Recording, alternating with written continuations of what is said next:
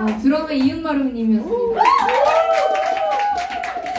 어, 아까 저희 그 연주하기 전까지 다들 곡이 너무 어렵다고 저한테 뭐집갈때 택시비 달라고 막 근데 안 드려도 되겠네요. 네. 네.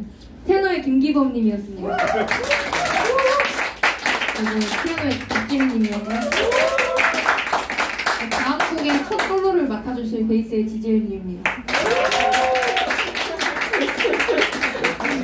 이제 피할 수 없어요. 네, 다음 곡으로는 어, 저희 1부의 마지막 곡으로 이제 좀 아름다운 곡 하나 연주드릴 텐데요. 어, 피아니스트 케니 커클랜드의 찬스라는 예쁜 곡 들려 들려드리겠습니다. 찬스입니다. 찬스. 네. 네. 다시 한 번 어, 네. 방금 밴드 소개해드렸으니까 네, 저희는 한 곡 연주하고 또 20분인가요? 20분 쉬었다가 또 2부 때또 뵙겠습니다. 감사합니다.